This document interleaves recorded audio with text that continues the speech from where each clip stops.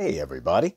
Well, this will be the third and final video covering the Lost in Space bloopers, trivia, and oddities, things that went on in the show. So the third season was their final season, and once again we see some more changes that happen, and I think they're for the better. We get a more interesting uh, theme song at the beginning. They have a more interesting uh, intro as well. They get new uniforms or new uh, clothes, new costumes. And they finally get to leave that planet, which is nice. They do a lot more space traveling in the third season, which I think makes it a lot more interesting. So, and the third season is actually my favorite. So, all right, well, let's start with episode one and see what we can find. So, the first episode is called Condemned of Space, and they finally take off from this planet. And it's interesting because rather than spend all this money doing more special effects, they actually just took the original footage of the Jupiter 2 crashing down on the planet and they just ran it in reverse. And in a actually, it was a smart move to do it that way. Also, the fact that uh, Irwin Allen was smart enough to film this stuff in color because you know the original first season was black and white. So it was good that he did it in color so that they could actually use it for this kind of thing. But the dead giveaway here is if you watch that smoke, you will see it actually going backwards. See how it's going in? It's going back down to the ground. So that's the only thing that doesn't quite work with that footage, but you can actually see that they ran it in reverse. Now, this episode features the first appearance of the stunt robot. They actually made a stunt version of the robot mainly for this segment. So originally, were, the robot gets sucked into space because of a, a, mistake that Dr. Smith makes. And so originally they were going to use the uh, actual costume and suspend it with wires, but the costume is way too heavy. And if you put Bob uh, Bob May in there, the man who was inside the robot, it makes it even more heavy. So they actually constructed another robot, but this one was much more cheaper uh, built. It was just made of wood, um, some very lightweight materials, foam. I think the brain was just cardboard, and they actually just used black uh, Marks-a-Lot to draw in the little patterns. and so it's pretty cool. It'll show up several times throughout the third season. Also of note, uh, this episode is the episode that was used for the Viewmasters. The those of you old enough to remember the Viewmasters toys, I had one when I was a kid. Um, for those of you not familiar, it was these little discs of film that you could put in this viewer, and then when you look through it, it turns the images three dimensional. Then you flip down this little uh, lever on the side, and it and you can go through the whole story and uh, see everything in 3D. It's pretty cool. I still have my original Viewmasters, all three discs. I still have the booklet that came with it and the package it came in. So huh, I still kept all of that stuff. So the Jupiter 2 ends up landing on this space station, and it turns out that it's actually a prison, and all the prisoners are actually frozen, so they stay frozen until their sentence is over. So as Will, Dr. Smith, and the robot go into the space station looking for John and Don, Will walks over to uh, this this door, and if you look now, start watching this window right over here. There's a guard. Well, let me fast. Let me uh, move it up just a bit. Right there. Okay, now keep an eye on the uh, prisoner's hand right there. He's holding that little weapon. You'll see him actually move his hand. It's like he's getting a better grip on it. See right there? so obviously the guy who's portraying that prisoner didn't know he was on camera. So yeah, you can actually see him move, even though he's supposed to be frozen.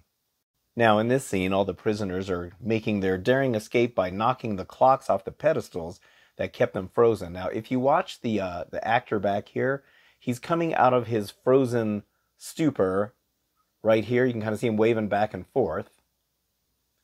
And then we get a close up of Marcel Hilaire, and now you can see he's back to being frozen again. And now he's kind of coming to again here. See how he's coming to again? And then in the next scene, as we see Marcel Hilaire running, he's once again, here he is, he's frozen again. And for the third time, he's now coming to. so they totally screwed up there. They, um, I think they, it, you, I mean, you can clearly tell that they had to do that scene three times to get the close ups and stuff. But that poor guy had to keep doing that three times. It's pretty funny. This episode is called Visit to a Hostile Planet. I absolutely love this episode. The Jupiter 2 ends up in a time warp that sends them back to Earth, but it's Earth of 1947. And so when they land here, uh, they end up landing in a small town, and uh, the people that live there think there's some kind of space aliens called Voltones. it's pretty hilarious. But here we see, uh, for the first time, the full-size Jupiter 2 mock-up. They actually built this huge uh, Jupiter 2. Unfortunately, I think it was only used for two episodes. I think they only used it for two episodes of the entire series. And then after that, it sat for years on the back lot, um, and it just eventually rotted away in the weather. It's really sad. There's some footage uh, that Roddy McDowall from Planet of the Apes took. He used to take a lot of home movies, and when he was filming Planet of the Apes, um, Roddy McDowall was filming uh, from a helicopter that he took off from the 20th Century Fox lot to go to the beach where they filmed the uh, famous beach scene from the Planet of the Apes. But if you watch that footage, you'll be able to see this Jupiter 2 sitting down there on the ground uh, on the 20th Century Fox lot. So they were filming that at about the same time they filmed this. So it was kind of an interesting little thing. Now, in this scene, Dr. Smith and Will go out looking around and investigating, and they bump into these two guys, and they almost have them convinced that they're not Voltones until the robot shows up, and then they can't believe their eyes. And so this guy gets all trigger happy, and he ends up shooting the robot. And when he does shoot the robot, he leaves this mark right here. You can see this big old gouge on the side of the robot there. But in the very next scene, when the robot turns around and they start running from these guys, you can see that the mark is clearly gone. So somebody screwed up there. In this scene, we see Dr. Smith and John talking, and Dr. Smith is trying to convince the crew of the Jupiter 2 to stay on Earth.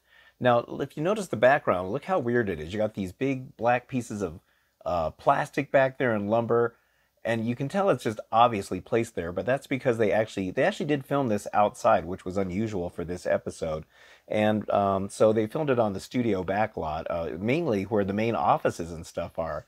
And so they had to cover up the signage and stuff back there, and they just used this kind of rinky-dink way of covering it up. Once again, we see Bob May, the actor inside the robot, using that trick that he used in the first season where he actually has to lean back. You notice how far he's leaning back? So he has to undo the ropes on um, Will's wrist. So you can tell that he's looking down from here straight down into that front vent, and that's how he can see what he's doing because he actually does untie Will's ropes. Now, this episode is called Kidnapped in Space, and once again, this door that's on the upper level of the Jupiter 2 is converted into something else. We have seen this room turn into uh, a weapons locker or a storage room, and now suddenly in season three, it becomes the access point to the space pod. And without any explanation whatsoever, we get this new vehicle that looks a lot like the uh, lunar lander that landed on uh, the moon at, around this time, so you can tell it was influenced by that. But we have this brand new vehicle, and there was no explanation as to where it came from, or how they got it, or why they didn't use it in the previous two seasons. And also, uh, you kind of wonder just how much room this ship has. I mean, how do they all, all of a sudden have this big, huge section of the ship to store that thing in? On the back of the space pod, you'll notice these serial numbers right here. Now, most Lost in Space fans know the significance of this. But what this is, is that was actually the phone number to uh, 20th Century Fox. And then the IA stands for Irwin Allen. That was his initials. So it's pretty funny how they put that in there as an Easter egg. This episode is called The Space Primevals, and the only blooper that I can remember seeing in this one is once again, you can kind of see uh, right down here. Bob May is in the Bermuda shorts, as he liked to call it. That's when he they would take the tread section off, and he could actually walk around in the robot costume, giving him more freedom to move. And as he steps up onto this platform, you can see where the rubber of the legs end right there, and you can actually see his pant leg right there. And then as he takes a few more steps. I wish I could get that. You can kind of see it right there. See how you can see his leg? It's pretty cool. And here I tried to freeze frame it, and you can actually see Bob May's uh, pant leg right there. I think he wore green uh, pants. I think he wore like a, a one piece suit underneath all of that stuff. So it's pretty cool. You can actually see his leg once again. This episode now is called The Space Destructors, and this is the one where Smith discovers this device in this cave where he makes just a whole bunch of duplicates of himself. And then Will even gets turned into Dr. Smith too, which is pretty crazy. But now, once again, you know, this show tends to use whatever it can find to use for background pieces and set dressing. And if you look right uh, here, this right here, that's the robot's arm molds. So here I zoomed in on it, but you can clearly tell that these are the molds that they use to make the robot's arms. You can see all the ridges on there. So it's pretty cool they even use things like that for set dressing. This episode features the second appearance of the stunt robot, and you can clearly tell because look at the back. It is so wrinkled. It's almost like his back is made of like a cardboard or something. It's really weird and it seems like it has different appearances when you see it in different shows and episodes, but in this scene, uh, this creature throws the robot down, and that's why they had to use the stunt version of him. This episode features Bill Mumy having to get a lot of makeup done on his face to look like Dr. Smith. And I, this is probably what started his disdain for having heavy makeup done. And uh, he would refuse some roles if it required him to have a lot of heavy makeup. But in this uh, scene right here, now you can see this big long tube. Now, as I mentioned in the season two video, Irwin Allen discovered where they were um, storing all the props and set pieces for the movie Fantastic Voyage. That was the movie where they shrank these scientists and they traveled around in this space age submarine in this man's body. And so you can see here, this is like a big old like vein or something like that. And this was used in Fantastic Voyage, but they found it in storage and thought, hey, let's go ahead and use it as a, a set piece. So once again, uh, a money saving way of adding cool looking uh, features to a set. Because this episode featured a whole bunch of Dr. Smiths in it, they ended up making a whole bunch of these masks for other actors to wear so that they would, you know, represent the uh, army of Dr. Smiths. And so uh, at the end of the filming of this episode, uh, Jonathan Harris was given one of these masks and he kept it for years. He said he kept it for years and it was in a case, um, a display case by his front door. But over the years, sadly, because they were made of latex, it eventually dried out and crumbled apart. So he didn't, unfortunately, get to keep it. But uh, it's kind of cool. Just think how much one of those things would be worth today. This episode is called The Haunted Lighthouse, and the Jupiter 2 lands on a space station. And when John disembarks the ship to go check it out, there's a voice that comes over, and it's saying that the Jupiter 2 launched on September 18th, 1997. But it actually got the date wrong. If you watch the pilot, they actually launched on October 16th.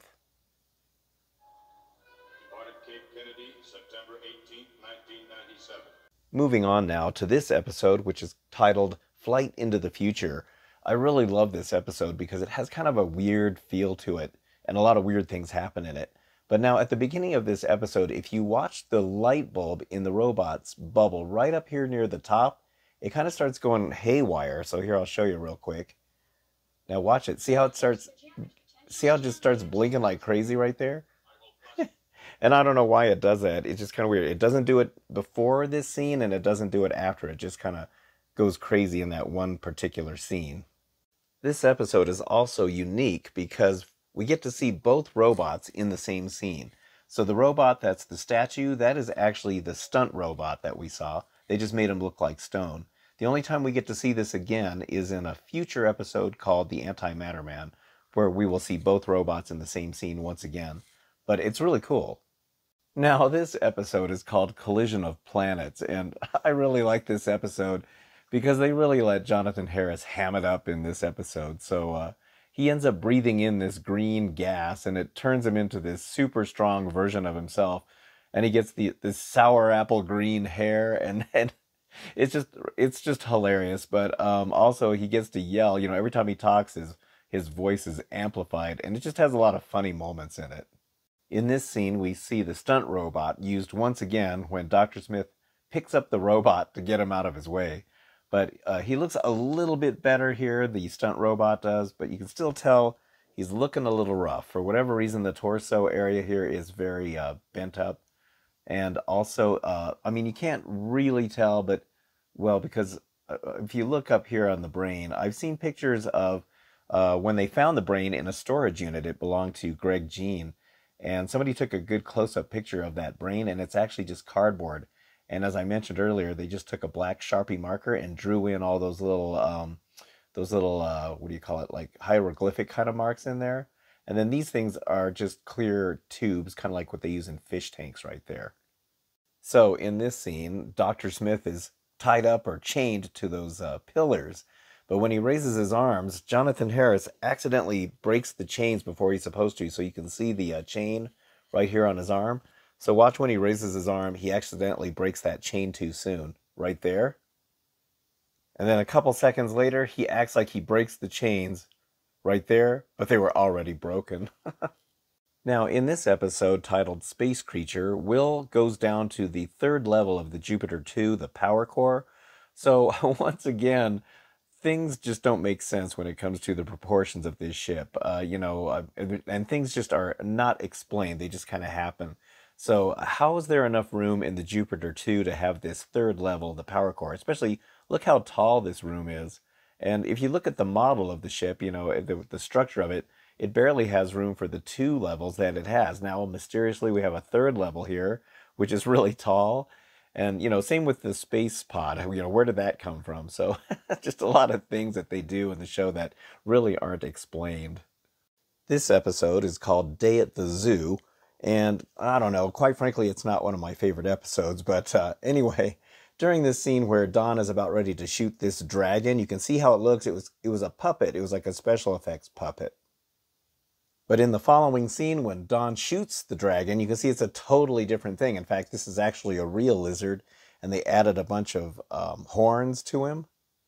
You can see right there. And so it's a totally different thing. It's weird how they used two different pieces of footage for the same monster. This episode is called Two Weeks in Space, and I would say it's another clunker of an episode from season three. But here, once again, in a cost saving measure, they reuse stock footage for special effects. So now they come upon this space station, but it's actually the same space station that we saw before, but they just simply turned everything upside down. It's pretty hilarious.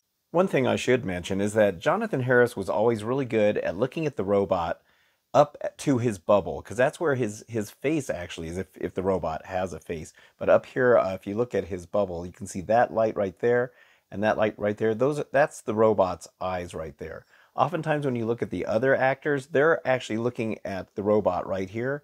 That's because that's where bob may would actually see out. He would see out between the slats of the collar.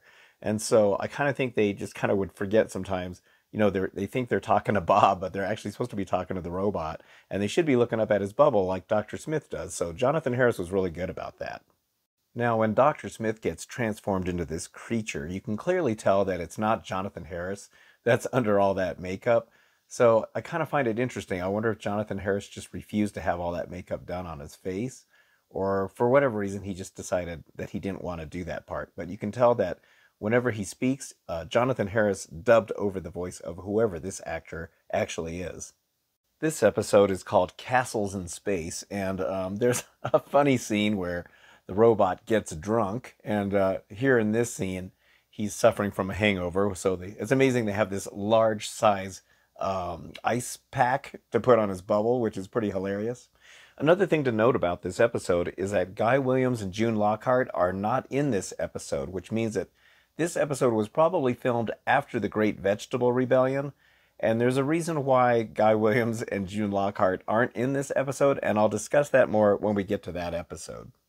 Now, this episode is the Antimatter Man, and it is arguably probably one of the best episodes of the entire series, and probably the odds on favorite episode of most Lost in Space fans.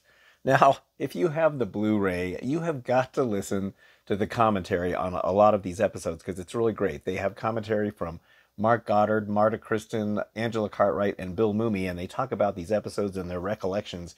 But this episode, they just start cracking up about this set piece, uh, particularly about the shape of these pieces right here. And they start laughing about it and and I mean for obvious reasons, but you you have to hear their commentary. It is the most funniest thing that you'll hear on this entire thing. Now, once again, as we saw in the second season, um, this is not the best angle that they should be using for the camera when it comes to this particular set, especially whenever the lightning charges go off, because once again, here in the background, we can see how the mountains are just cardboard cutouts. You can see how they're actually very, they're just flat. They're just flat things. And you, they have this hill that kind of comes up to them, kind of maybe, uh, kind of using maybe like a forced perspective kind of look at least from the ground view of it. But when they go high up like this, it's a dead giveaway on how that really looks. But I do love it. I mean, there's there's a certain charm about this show and a lot of shows that had budgets like this. And you know, I mean, you got to remember this is the 1960s, and so I, this kind of stuff would you know never fly today. But I, as a kid, and since this show was mostly made for kids, we never noticed it. But you know, nowadays we have these wonderful uh, Blu-rays and and stuff like that to be able to study every detail and pause and notice stuff that we never noticed before. but I do love the fact that you can actually see how those mountains are actually just cardboard. Once again, in this episode, we very, very briefly get to see uh, Bob May's foot. Now, you'll see it if you look down here, and I'll do this in slow motion. You will very briefly see right down here Bob May's foot kind of poke out from behind there. Let me see if I can speed it up just a little bit. So, right there. You can just very, very briefly see it. And here I zoomed in on it so we can see it a little bit better. So look right in this section right here. And see right there. Oh, I got it paused perfect. You can actually see the tip of his foot right there. I mean, it's, you know, if you're not looking for it, you're not going to notice it. In this scene, uh, Will Robinson and the robot just entered the antimatter world. But if you watch the way that Will is walking right there, you can clearly tell that that is not Bill Mumy. In fact, it almost looks like it's a girl because you can actually see a little bit of breast action going on there. And so if you listen to the uh, the commentary, Bill Mumy talks about this, and that's because by the time they filmed this, it was getting late in the day, and because he was a child actor, he was only allowed to work so many days uh, or so many hours per day, and so. Uh, by this time, they, they had lost him. They, they couldn't use him. And so they had his stand in or his stunt person, who was a girl. I can't remember her name. Um, but they had her uh, kind of stand in here, and then Bill Mumy just did the voiceover for it. But it's pretty wild. There's a scene where the camera pans to the right, and you can see all this lightning going off, but you can actually see the shadow of the camera right here, and then you'll see uh, the person pushing the dolly right in here. And you can see it right there in particular. You can really see the whole rig. In this scene, the antimatter John and the uh, robot and Will are walking along these this little trail of trees, and they end up having kind of a long speaking part. And what happens is they get to the end of this this segment of the set, and then they go back and then they had the actors, you know, go back to the beginning of this trail, and then they keep walking the same section over and over. And you can really tell because of that tree that's right over here it's got that distinctive bend to it right there.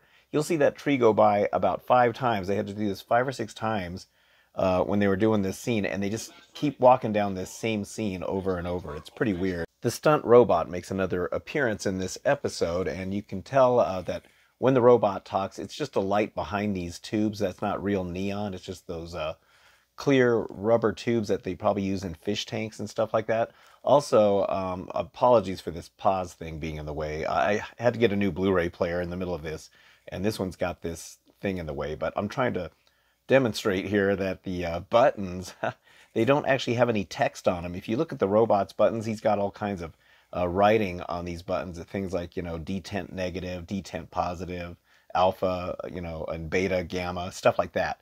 But on the stunt one, it's just, they're just plain. Now, this is the second and the last time that we actually get to see the hero robot and the stunt robot together in the same scene. And so the robot is talking to the stunt robot in the cage there, and uh, the stunt robot is the antimatter one. He's now painted black and white. But what's odd is um, during the fight scene, there was a torch left on the ground, and you can see it down here. And as this whole conversation goes on with these two, this torch is scorching and burning the side of the uh, the robot's tread section. You can see how it's just kind of burning it, and it kind of goes on for quite a while. And it's uh, I'm actually amazed that it didn't set it on fire. And by the time the robot pulls away, you can actually see that the side panel was scorched.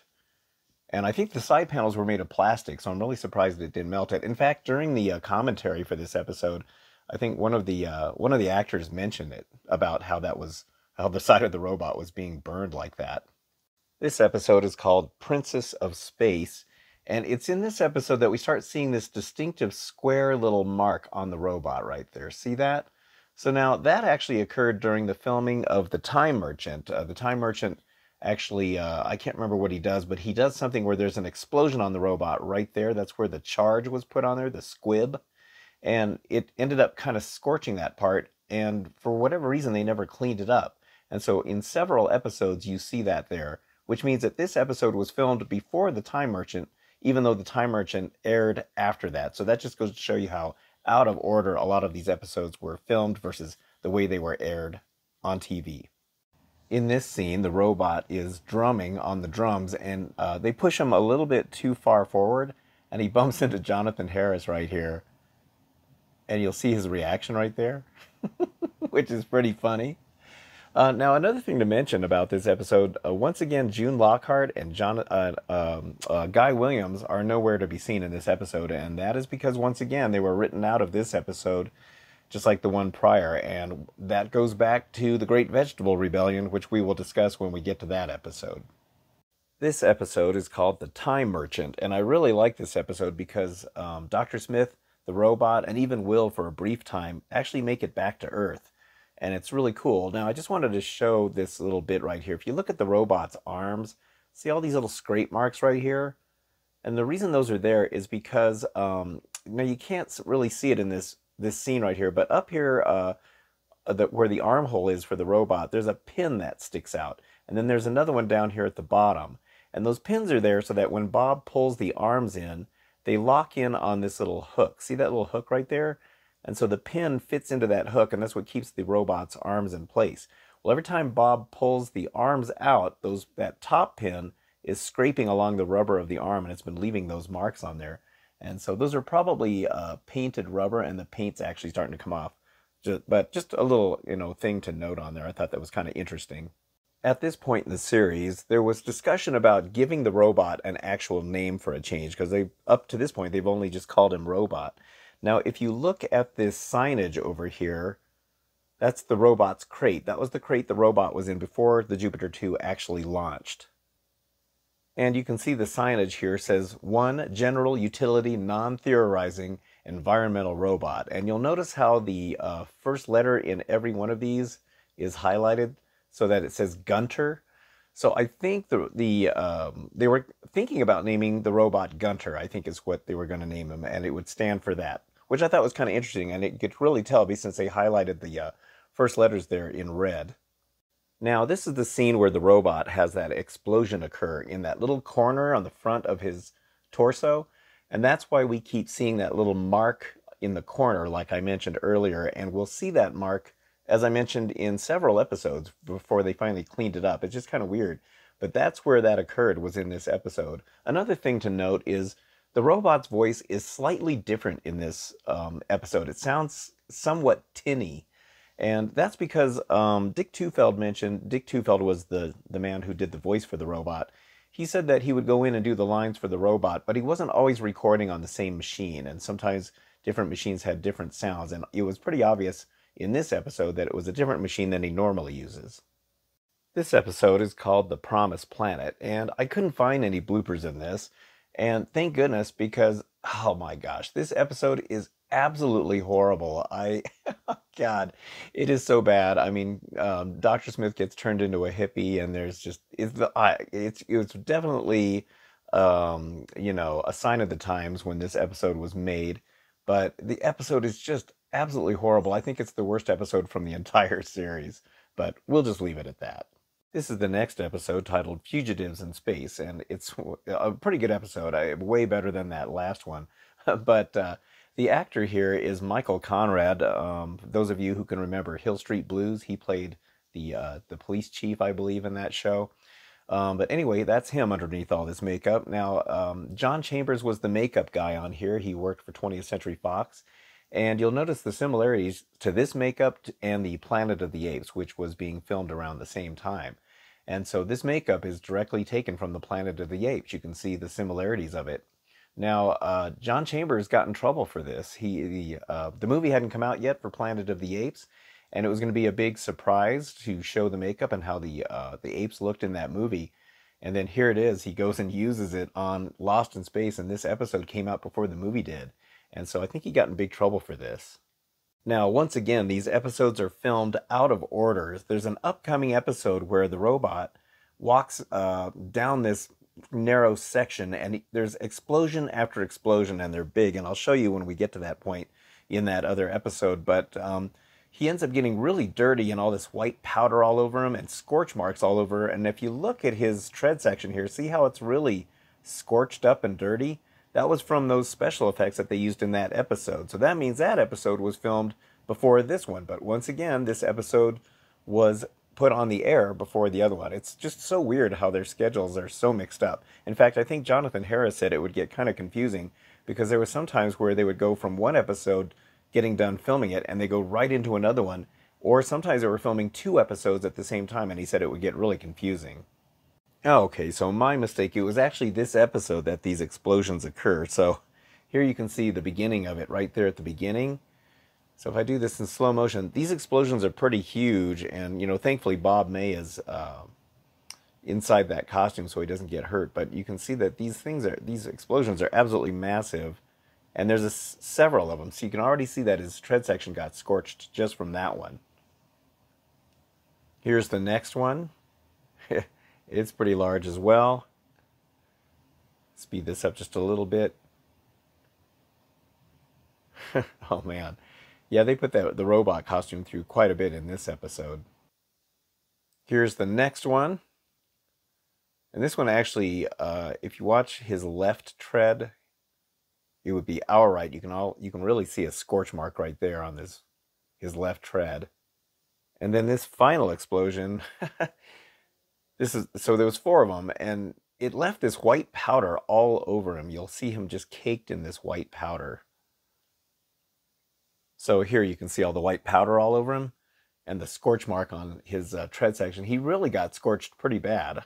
I'm really surprised they put that robot costume through so much, uh, you know, punishment when they were filming it because they really only had the one costume besides the stunt one. But in this case, they they had to use the hero. All right, so here it is, the most famous episode of Lost in Space, the Great Vegetable Rebellion. Uh, this episode needs no introduction. I think just about any Lost in Space fan knows how just infamous this episode is. Now, um, a lot of people don't like this episode. A lot of fans don't like it, but I got to tell you, I, I actually really like this episode. Uh, I mean, there's far worse as far as I'm concerned, but I really like it just because of how absolutely outlandish this episode is. It's just, it's insane how bizarre it is. But anyway, uh, right at the very beginning here, I just wanted to point out now, Bill Mumy, if you notice his eye right here, he's got a really bad sty going on on his eye. And in fact, they had to add in some, uh, some words into the script to explain why he had that. Now, Bill Mumy said that he was constantly getting these styes in his eye because of the sand on the set of the planet sets. He said that sand was just filthy and dirty, and he says over the years it got really just nasty. And uh, he said he would always just get these styes because of all the, the dust that would get kicked up from it. And so a lot of times they would have to film him from just one side and profile him. But um, in this case, they just decided to go ahead and, and uh, expose it on here. And I think in a previous episode, you can kind of still see a little bit of it there. So that means that that, that episode was actually filmed after this one. Now, this episode is the one that has the infamous Carrot Man, Tybo the Carrot Man. Now, the actor that played this part was uh, Stanley Adams. Uh, you may also know him from Star Trek, the original series. He was in the episode The Trouble with Tribbles. And so uh, he plays Cyrano Jones in that episode. Now, um, yeah, I mean, it probably was not easy for him to take this role, and I don't know if he ever was regretting it, but uh, it is definitely an insane costume and an, an insane episode. This is Tybo's assistant Willoughby, and I can't remember the name of the actor. We'll have to check the uh, credits at the end of this because there's something I want to discuss about that. But I remember this actor because he used to show up in a lot of different shows back then and some commercials as well. But yet another crazy character that was in this episode. Now, this episode is why Guy Williams and June Lockhart weren't in some of the previous episodes. Uh, because they got in trouble. This episode was so outlandish, even for them to film, that they couldn't they couldn't stop laughing. They kept you know laughing during the takes, and and Irwin Allen got really upset with them that they wouldn't take it seriously, and so as punishment, they were written out of two or three episodes.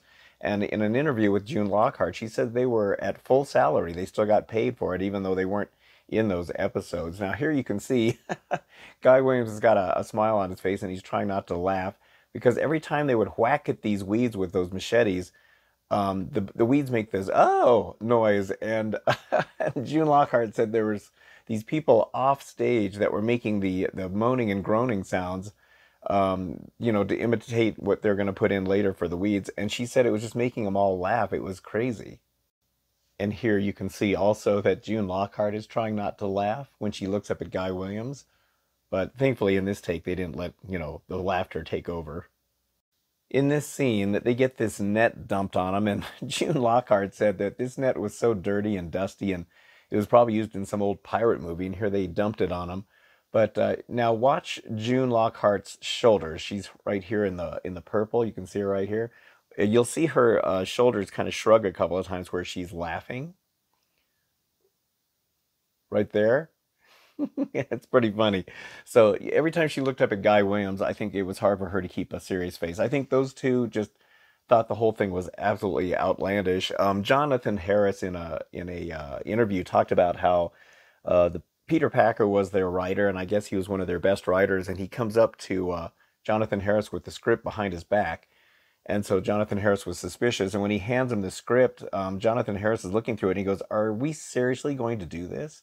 And uh, Peter Packer says, I don't have another idea in my head. I mean, I, the poor guy was running out of ideas. And I think this is the second or the last episode of the third season anyway. So the poor guy, I think he just ran out of any kind of ideas whatsoever. In this scene, June Lockhart was talking about uh, another th- incident that happened during this uh, time when they were filming it. Now, this trapdoor, John and Don go down into this trapdoor, down into the basement, but there's actually no basement there. So what happens is when they lift the door, John and Don go behind the door, but they're actually crawling off to the side. So down here where these weeds are, once they get out of view, they're crawling this way. Well, June Lockhart has to sit there and watch that, and she just could not stop laughing about how silly the whole thing was, and they had to do it several times. Now, this is the second time that they have to go down into this um, trapdoor. Now, watch June Lockhart. Just before they cut, you can see her start to laugh, and they uh, they cut it before they could, uh, you know, catch her. So watch her. See right there? it's pretty hilarious. Also, in this episode, um, Dr. Smith gets turned into a stalk of celery. I mean, oh gosh, it is so crazy. I love this episode. I just love how weird it is. Now here we can see the credits. Now if you look at the bottom, James Millhollin was the guy that played uh, Willoughby. Now you'll notice it says James Millhollin as Willoughby the llama. And so what happened with that is originally the character of Willoughby was going to be a llama, an actual llama, and I think they were going to make that become a regular character on the show. They wanted to add a real llama to the show, but um, after some several uh, test footages or test takes, uh, Jonathan Harris absolutely refused to work with the llama. and I, am sure that he had a good reason. I, I, think llamas would be difficult to work with. They tend to spit and stuff like that. And I, I think he drew the line with it. So uh, I thought it was interesting. But for whatever reason, they forgot to uh, change the credits. Maybe they already made it by that time and uh, they couldn't go back and change it before they decided to mm, change the character of Willoughby to a human character. But it's very interesting. I would absolutely love to see the bloopers from this episode or all the bloopers from the, all the episodes. I'm sure they had them somewhere. I was really hoping they would include some of those on this Blu ray uh, box set. They have some interesting behind the scenes um, uh, special effects footage and blooper footage from different things. And those are interesting. And I think you can probably find them on YouTube here or uh, online somewhere. But I really wish they would have included the bloopers. I, I, don't know if they still exist. Maybe they couldn't find them, or uh, you know, who knows. And so I, I mean, we may never see it, unfortunately. This episode is titled Junkyard in Space. It's the last episode for season three, and unfortunately, the last episode of the entire series. Now, um, I just wanted to show you they got such a huge close up on the robot's collar right in here. Now, if you watch closely, you'll be able to see the shadow of Bob May's head in there. So just kind of watch right in there. See it? You can just kind of see him moving around in there. It's pretty cool, and I don't think I've ever seen where you can actually see inside there, but just the way the light is coming in, when the bubble goes down, you can see Bob May's head, or at least the shadow of it. So when the robot goes down to the planet, he gets stuck in this magnet, and he's hanging upside down. Now, they obviously used the stunt robot for this, but now if I zoom in on here, see how there's this panel on the robot's uh, uh, torso right here on the back? I have never understood why that panel is there because if you look at the stunt robot on all the previous episodes, there is no hole cut into there, there's no panel or anything. So I really don't know why they have that. So it there's been speculation with different people that I've talked to that maybe there was more than one stunt robot, but I don't think there was. I think there was only one stunt. Um, it's quite possible there was more than one torso, though, and that might be what's going on there. It's possible that um, in all the other episodes, we always see how wrinkled up the whole torso is around here, and you can still see a little bit of it on there. Maybe if it is made of paper or whatever it is, or some kind of really flimsy material, it's possible it, it ripped there and they just patched it to cover up the rip. I really don't know. But then again, um, I've seen the uh, the stunt robot. I think now resides at the MoPOP Museum in uh, Seattle, Washington, and uh, Fred. Let's see, Fred Barton. He's the one that makes full size replicas of Robby. He's he's known as the Robot Man. He got to um, once the stunt robot here was sold for something like three hundred thousand dollars at auction. It's insane. Uh, he was called upon by the person who bought it, and I think it was Paul Allen. I'm not really sure to uh, repair it and get it back up and running, or at least get it to look nice because it had been through quite a bit. And um, nowhere on there did I see that there was this patch. There was no patch on there. So I'm still puzzled by this. I really don't know what's going on here. You can also see one of the ribs, or a couple of the ribs are missing from that vent. But to this day, I'm still mystified by that panel and why it only shows up in this episode and what the deal was about that. When the crew of the Jupiter 2 comes down to the planet to come save the robot, they're walking along all this junk that's down here, and once again, we see an array of reused props all over the place. Now, uh, this cylinder that's on this cabinet right here, this computer cabinet, you can see it right there. Uh, it's going to start. It's going to roll down, and it startles startles them, and you can see plainly see the wire right here that they use to make it fall. So somebody off camera yanks on it, and it, you can you'll watch it fall right here, right there. I also noticed in this episode that the robot has this scuff or a scratch right here on his bubble. See that? And there was no part in the episode where that occurs, so it must have been just an accident. Maybe somebody accidentally scraped it right there. It could be just a mark because uh, maybe it was something they could clean off. The robot gets really scorched up in this episode because he put himself in the oven. And you can see they did quite the paint job on him. I think um, after the show, the robot was on display at SeaWorld or Ocean World or something like that. And I think somebody said he still had these scorch marks on him, which I find interesting because uh, eventually the costume turned up and it, it must have been repainted somewhere along the line. But anyway, here you can kind of see um, the red ear spinner. It actually spins again in this episode very briefly. So it's kind of cool that uh, they do use it again. Once again in this episode, Guy Williams is hardly even seen in this episode, and I don't think June Lockhart was in it at all, or very little. But then again, June Lockhart by this time was doing uh, Petticoat Junction at the same time, so it's not like she didn't have any other work. I think she was working probably more on Petticoat Junction than this one, uh, mainly because she just wasn't getting much to do on this show, and maybe she knew it was the end. I don't really know. You'll also notice that on the robot's yellow ear right here, there's a piece of black electrical tape on there, and I'm not really sure what the purpose of that was. I'm thinking they only wanted the red sensor to turn, and the motors probably turn both, so maybe they taped it to make sure that that one doesn't turn for some reason. I don't know, it's really weird. I mean, it's pretty obvious there's a piece of tape on there. So there we go. That covers season three and the entire series of Lost in Space with all the bloopers, trivia, and other strange oddities on the show. Um, you know, the show was supposed to have a fourth season, and uh, for those of you who uh, are fans of the show, you probably already know this, but they were going to have a fourth season, and they told everybody, you know, what it was time, you know, when they went on their break after the show was done filming for the third season, they said, hey, okay, we'll see you all back in the uh, fall when we go back to filming. And everybody was expecting to come back, but unfortunately, the show was canceled, and nobody was. They didn't get to have a wrap party. They didn't get to say goodbye to each other and supposedly, there's two different stories that I keep hearing as to why the show didn't come back.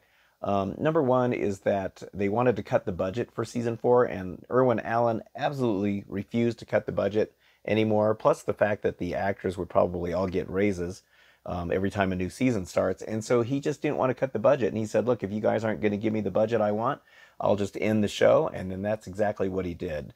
The other theory or the other rumor I heard is that um, one of the executives at 20th Century Fox uh, really loved the TV show Gunsmoke, and um, she did not want to see it get canceled because it was supposed to get canceled.